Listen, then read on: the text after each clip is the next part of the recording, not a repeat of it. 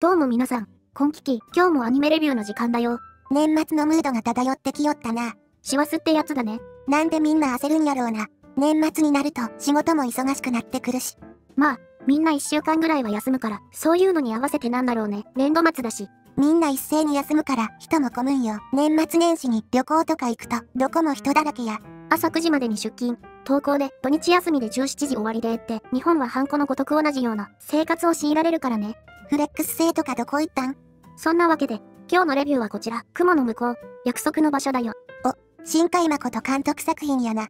この作品、新海誠監督作品の中でも、かなり賛否両論というか、人を選ぶ作品なんだよね。新海誠監督作品ってだけで、人を選ぶ要素があるのにさらにですか？でも、この作品を下地に、君の名は、とかが、作られてあんなにヒットしたんだから、わからないものだよね。ん？君の名は、の下地？うん。改めて見返すと、そう感じる部分が多いんだ。この作品、新海誠監督作品の中でもかなり複雑な設定になってる。まず、日本は南北で分断されて統治されてる。境界戦記みたいな設定やな。北海道はユニオンという共産国家軍が統治してて、彼らは目的不明の謎の塔を建ててるんだ。この時点でかなり複雑やな。日本を舞台にしてるんやけど、架空の設定があると。主人公たちは、そんな塔に憧れてるんだ。高い塔は本土からも見える。でも、見えるけどその場所に行くことはできない。見えてるからこそ、そこに行きたいと思うんやな。これ、初恋の比喩なんだ。ん？メタファーってやつですか？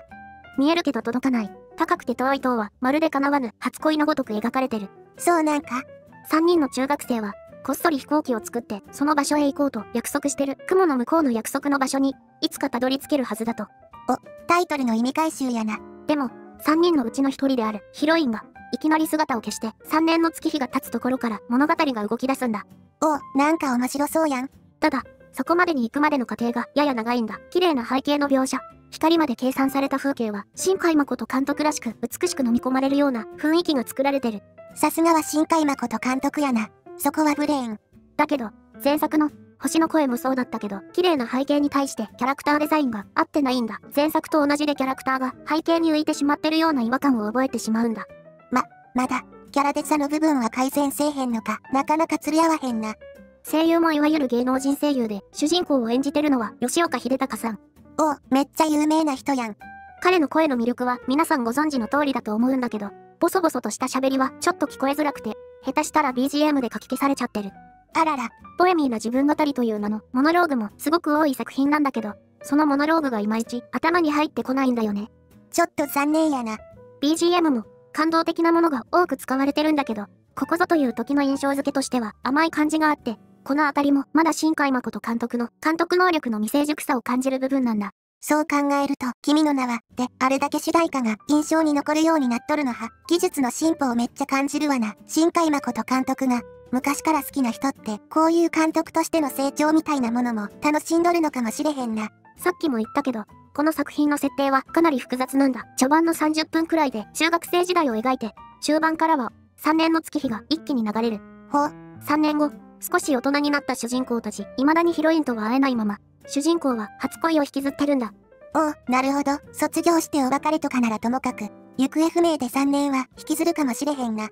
東京へ行き、別の女性と付き合ったりもした。でも、時折、彼女のことを思い出し、夢に出てくる。うわ新海誠監督らしい感じやな。夢に出てくる彼女に主人公は何もすることはできない。ただただ、3年前の月日の姿のままの彼女を見つめることしかできない。辛い。叶わなかった初恋は心にくさびを打ち込まれるようにいつまでも主人公の心に残ってるんだ。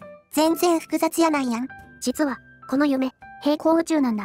は、ユニオンが建てた塔は平行宇宙を観測するためのもので、そんな塔と彼女は実は繋がってて3年間眠りっぱなしになってるんだ。は、は、はあ。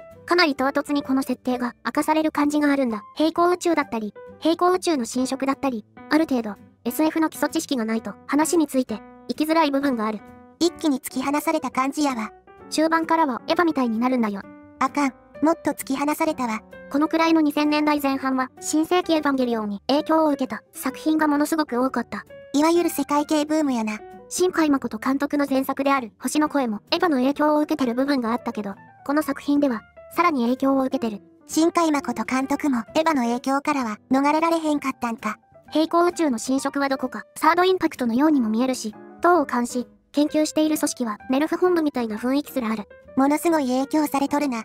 ちちょっと極端な表現ではあるけど、この作品は深海誠版エヴァみたいな感じなんだよ。わお、このタイトルで、それは予想できへん。そこに、新海誠監督的なジュブナイルや青春恋愛要素を混ぜ込んでる夢に出てくる初恋の人、届かぬと、初恋への執着や未練が、この作品では描かれてる。初恋の人をいつまでも引きずっとる感じは、童貞臭さすごいな。彼女の目が覚めれば、平行宇宙の侵食は一気に進んでしまう。世界か、君か、まさに世界系にふさわしいストーリーが展開されるんだ。面白そうやん。描かれてる内容自体は面白いんだけど、この作品が新海誠監督の初長編映画ということもあって、ストーリーの尺の使い方が甘い。短編映画ばっかりやったもんな。終盤まで盛り上がりどころらしい盛り上がりどころがなくて、淡々と日常が描かれて、一気に時間が進んでも、淡々と SF ストーリーが描かれてしまうんだ。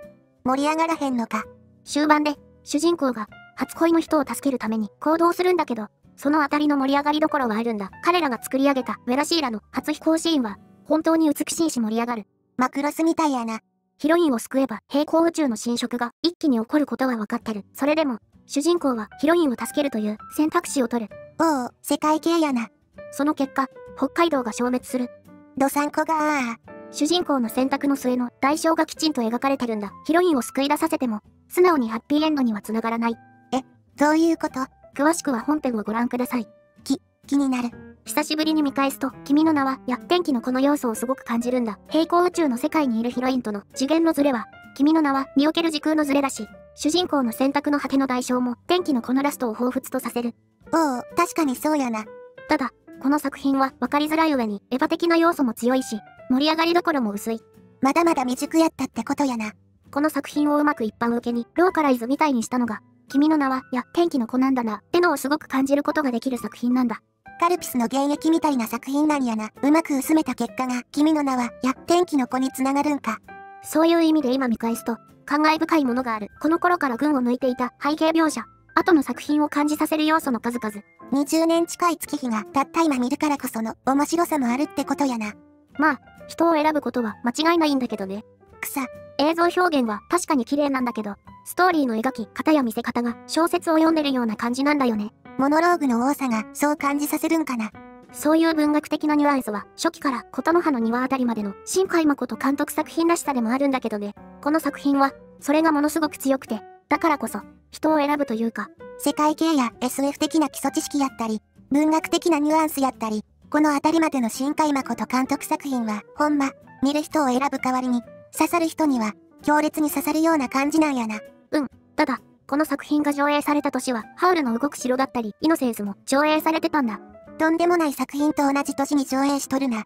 そんな2作品を抑えて、毎日映画コンクールアニメーション映画賞を受賞したり、見る人が見れば、評価する人がすれば光るものがある作品なんだ。新海誠監督作品が注目されとる今やからこそ、初期の作品を見返してみると、面白いかもしれへんな。